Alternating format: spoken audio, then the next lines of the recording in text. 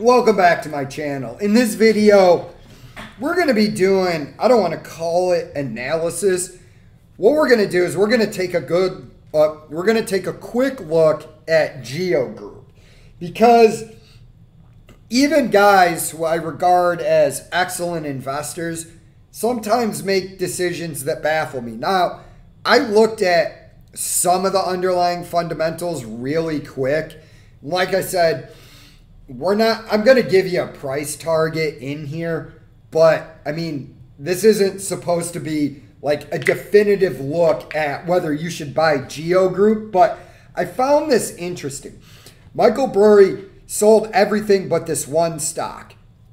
Michael Burry's SEC F13 filings for the June quarter reveal that he sold his entire portfolio except Geo Group. And I'm telling you, the thing about Michael Burry is Michael Burry is always early to the game. You have to understand that about him. He's he was far out in front of the housing crisis. There was a lot of people that called it. He wasn't the only one. But I'm just saying he was about 3 years early when he did that. I don't recommend selling your portfolio. To me, you're just trying to time the market. But I do believe Michael Burry's sentiment is right in that we're headed for a massive market correction. And a lot of these YouTubers who don't know anything are going to be shocked when they see a real real bear market. Not one that lasts for a couple of months, but one that lasts for a year, year and a half, and then stocks trade sideways for a while. They trade at about fair value. And you're looking at 10, 15 years of stocks basically doing nothing.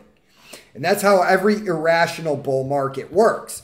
But, I mean, if we come over here and we look at it, I mean,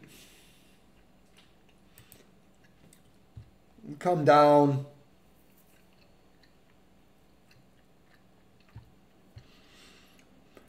its EPS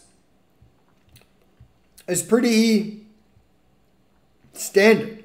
Like it, it's not really showing much growth in it. So, I mean, let's go and look at the price to earnings ratio because what you're paying for is growth.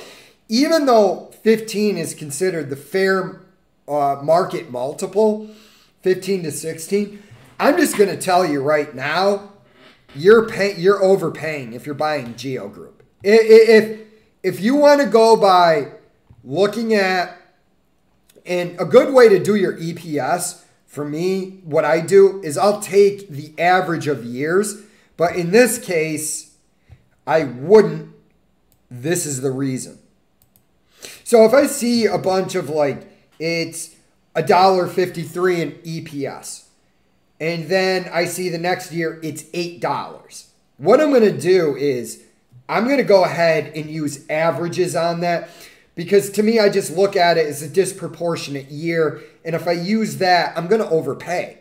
But I mean, basically, what you're paying for, I don't know what is going on with Geo Group, why its EPS dropped. I don't really care because I'm not that I'm not interested in this stock. But when you're looking at this, I don't know why this happened. That's something you're going to have to figure out. Michael Burry is calling this a classic cigar butt scenario. If you don't know what that is, it's a it's a hypothesis in picking stocks where if you buy a company below what its uh, plant property and equipment, its intellectual property, all that if you buy below that market cap, you got you get a cigar puff from it. That's all that is. Um, how much stock I put in that? Not a lot, because the reason is is the future is inherently unpredictable. And if I could predict what a stock was going to do, I'd be the richest man on the planet. Come over here.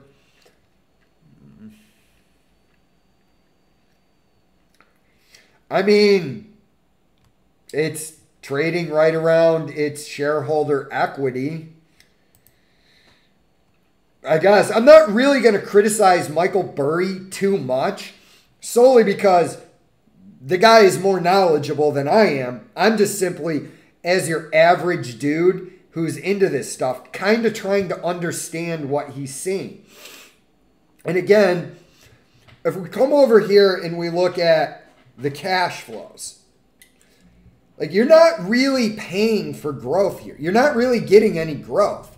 When you're if you're paying a price to earnings ratio of 15, you're actually paying for some level of growth depending on how you calculate it. I use a 12.5% discount rate, but in order to justify that, even my 12.5% discount rate is telling me that you need about 11% growth per year to justify paying a 15 price to earnings ratio for your stock. So if you're in here and you're looking at this, because this is what, when I first look at a stock to see if I'm interested, and look, everybody's got their own method.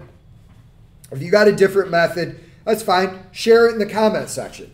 I don't care. I'm here to learn. I don't in any way pretend to be the most knowledgeable person on this stuff, but you know, I have my background. I can get you to the dance. But it's like if somebody has another explanation, I'm all ears. But I mean, when you come and you look at this, I mean, you tell me if you're watching this video at home. It, are are you what are you paying for here?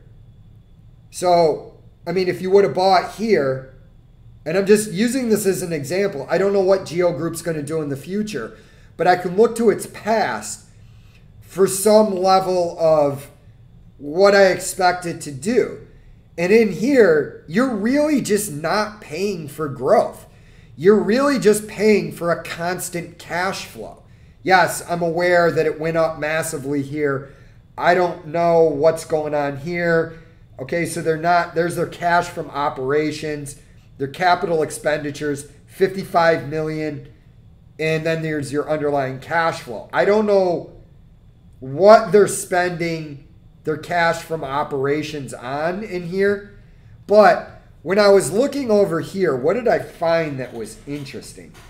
I'm using the stock analyzer over here. I found, I forget what I found that was interesting. Oh, it was their cash burn. That's what I was looking at.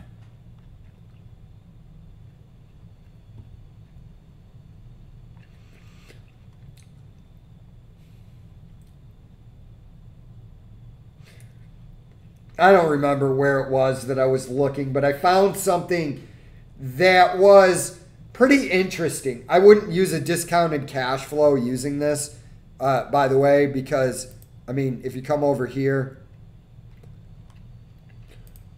and this could be updated more, but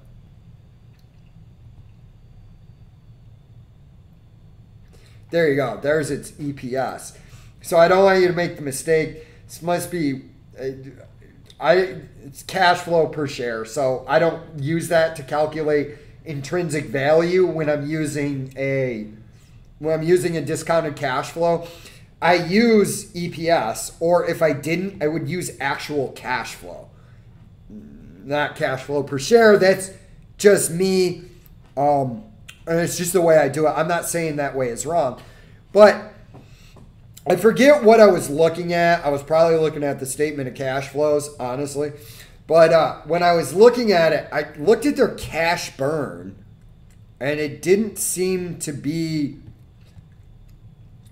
something that I liked. But I mean, this is just one of the things about investing is you're not is no matter how good you think somebody is, you're not always going to agree with them. And I actually don't agree with him on this stock. But I mean, if we look at the five year average free cash flow, we'll use a terminal multiple of 20. I mean, that would tell you that this company is massively overvalued, undervalued. But what I'm saying is, when you're using your multiple here, Look at what your growth you're getting. You're not getting any growth out of this company. And in my opinion, A 15 price to earnings ratio is too high of a multiple to pay for this. Let's mess around with everything. EMs. I could do this in my cash flow, but since this is here, let's just go with one, two, three percent. And we're doing a 10 year. So if you're looking at those numbers, it's too low. Is it though? Let's do three, five, and we'll just do six. Uh, free cash flow margin, we'll just keep that at 10. Because this is, look, everything money, I don't think did a good explanation of telling you what a cash flow is for. And I'm also one of those people that probably didn't explain it as well as I should have. So I'm trying to explain it now in my videos. This, when you're calculating intrinsic value, take it with a grain of salt. In my opinion, what you really need to pay attention to are your terminal multiples, whether you're using cash flow or EPS, because what you want to do is when I run my cash flow initially, the first time you run one, what you want to do is just get a general idea of where you think a stock would be at. So there you go.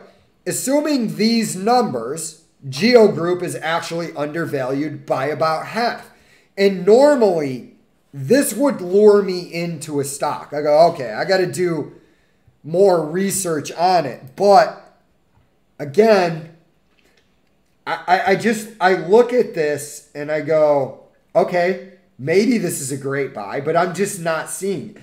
Maybe if I could buy it somewhere around here, and I honestly I don't. If I bought this somewhere around there, yeah, I'm happy to sit on this and collect a dividend while it, I wait for it to go back up. I'm happy to do that, but right now, currently, this is just too much, in my opinion, for the growth that you're paying for. Again, we can look at cash flows or we can look at earnings per share. And I mean, look, it is what it is, but you're not really getting any growth out of this company. So I don't know why you would buy it. I, I just thought it was interesting to look at. And I, I really Maybe he thinks he can get more out of it. Maybe he thinks the, the, the, the revenue will go up. Maybe he knows way more about the private prison industry than I know.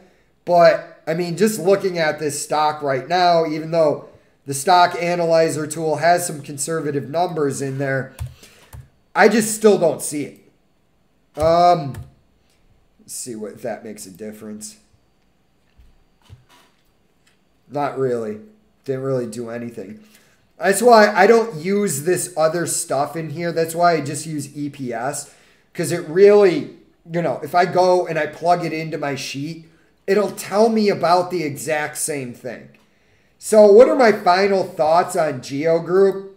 I mean, again, take it with a grain of salt. I didn't do a whole lot of research besides quickly look at a few things, but I'm just not really interested if my cash flows were staying constant, even if they were about, and again, when cash flows fluctuate like this, it makes it harder to calculate an intrinsic value. So when cash flows are fluctuating like this, what, if, what am I going to do? I'm just going to come over here and look at the price to earnings ratio initially. And then if it interests me, I'll go in and start looking at the financial statements and reading the uh, 10K to try and figure out if I can guess where this is going. But right here with the growth, you're already overpaying, in my opinion. Right around here, yeah, once you snatch some of that up, because uh, a lot of the uh, risk is actually baked out of it. So, anyways, I hope this helps. And if it did, go ahead, give me a like and subscribe or don't, and I'm out.